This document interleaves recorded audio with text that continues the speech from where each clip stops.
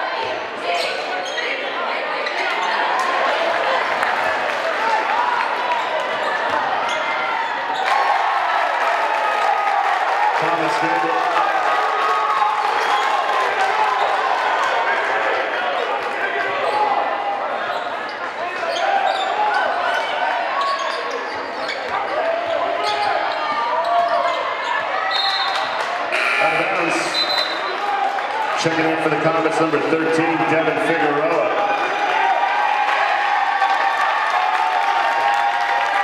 Coming in the ball.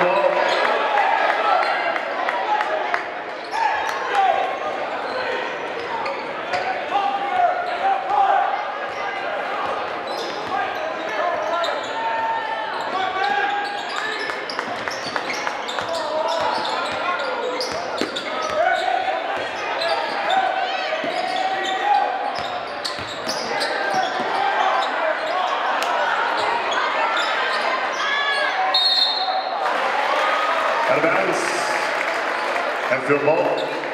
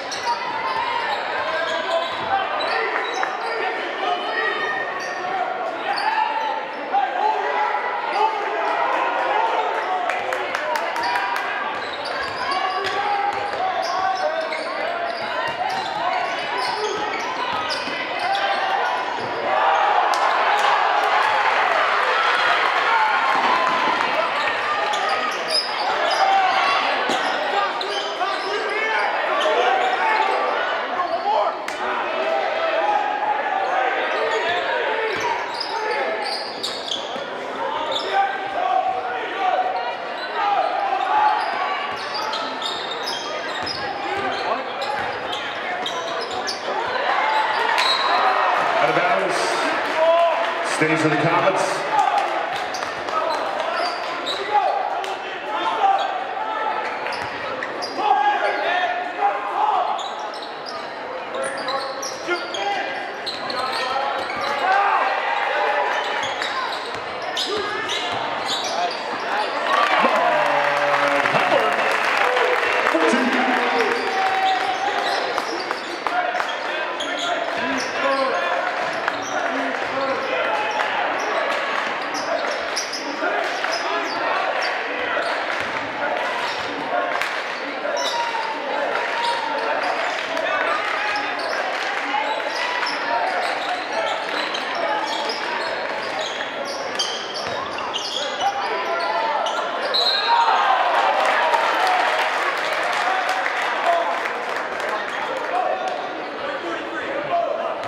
Commander foul number 43, Dominic Wesley. His first, team fourth. Troyer at the line, shooting two.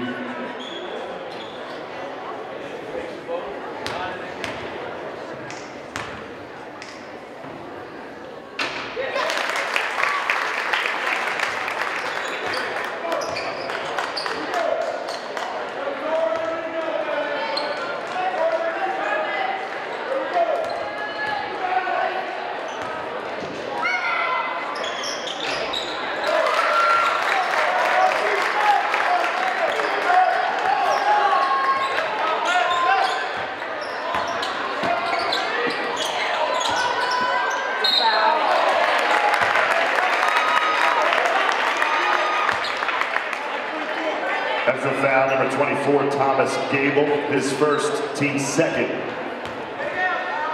Gallion at the line, shooting two.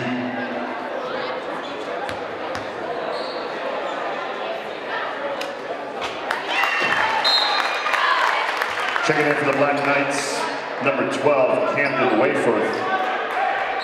One more shot at the line.